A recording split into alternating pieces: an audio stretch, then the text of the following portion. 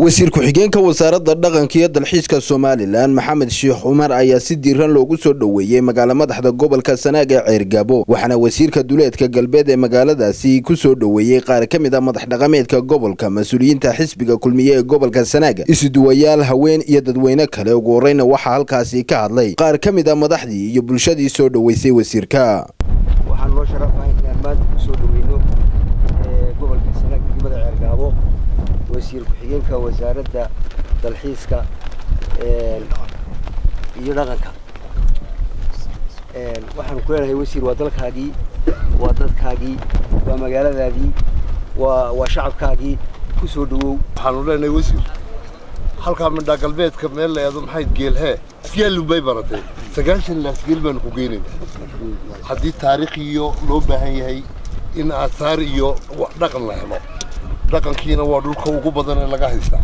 Waa kugu soo dhaweynaynaa ku-xigeenka dhaqanka iyo dalxiiska maxamed sheekh cumar waxaanu leenahay ku soo dhowow oo gobolkaagii oo magaaladaadii aad iyo aad baanu runtii ugu baahnayn in wasiir ku-xigeenka dhaqanka uu yimaado waayo gobolku waa gobolkii bilicda iyo dalxiiska iyo aasaarta qadiimiga ay taallay. Insha allahu tacaala qalbi furan iyo maskax furan ayaanu kugu soo dhaweynaynaa waxaan ku leenahay mudane wasiir ku soo dhawow dadkaagii dadkaagii dalkaagii gobolkaagii weliba gobolkii ku caanbaxay dalxiiska. Dhawow caasimada gobolka sanaag. Waxaanu leenahay soo dhawow wasiir soo dhawow waxaan wasiir soo dhawow soo dhawow dalkaagii dadkaagii iyo degmada ceergaaba wasiir ku-xigeenka dalxiiska. Wasiir ku soo dhawow ceergaabo waa meel dalxiiska ku qurux badan. Waad arki doontaa. Way u baahnayd inaad inta nooga soo dheeraysaan baanu jeclay laakiin maanta haddaad timi aad iyo aad baanu kuu soo dhawoon wasiir ku-xigeenka wasaaradda dhaqanka iyo dalxiiska somalilan maxamed sheekh cumar oo gebagabadii halkaasi ka hadlay ayaa sharaxaad ka bixiyey. Ujeeddada socdaalkiisa uu ku yimi gobolka sanaag waxa weeyaan safar booqasho ah oo ahaa inaan u kuur galo xaaladda wasaaradda dhaqanka iyo dalxiiska ee gobolka iyadoo oo gobolku uu yahay gobol dalxiis gobol taariikh leh gobol xaqiiqatan marka la eego aanu odhan karro wuxuu ka soo jeedaa dadka soomaalida oo dhanba hiddahoodii iyo awiyaalkoodbaa halkan ka fircamay oo yaalla.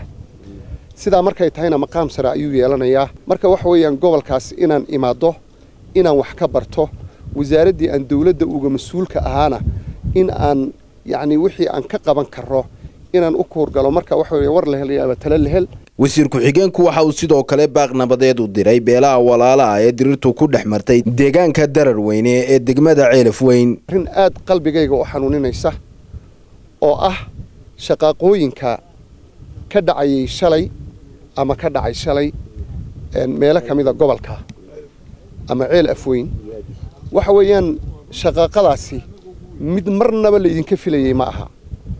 Sababtoo ah dadku markay xadaariyin yihiin dadka marka ilbaxnimo lagu tuhmayo dadku marka ay yihiin dad yacni looga bartay dagaal la'aan taariikhda sida aan la soconno ma dhici jirin layskuma layn jirin gobolkan qabiil. Marka in maanta muxuu ahaa dad yacni ay isku dilaan arrinkaas waa ceeb. Marka waan ka tacseenayaa intii ku dhimatay ee xaqdarrada ku dhimatay ee aynaan ka maarmin ee inaga baxday tacsi baan u dirayaa. Ilaahayna waxaan uga baryayaa inuu jannadii firdowsa ka waraabiyo dembidhaafna siiyo inta dhaawacantay waxaan iyadana muxuu ahaa ilaahay uga rajaynayaa oon uga baryayaa in ilaahay u caafiyo.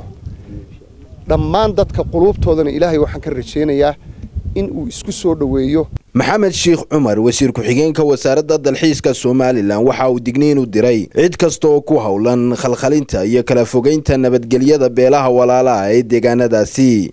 Waxaan uga digaynaa anigoo ka hadlaya magaca xukuumadda jamhuuriyadda somalilan waxaan uga digayaa dadka tallaabooyinkaas oo kala samaynaya in falalkaa foosha xun ee ummadda kala fogeynaya ee dadka walaalaha ee wada dhashay oo wax ka dhexeeya aanay jirinoo xumaana isku dilaya in tallaabo sharciya laga qaadi doono oo aan loo habraanaynin dawladina waxa weeye midda gacan bira ku qabata dadkeeda.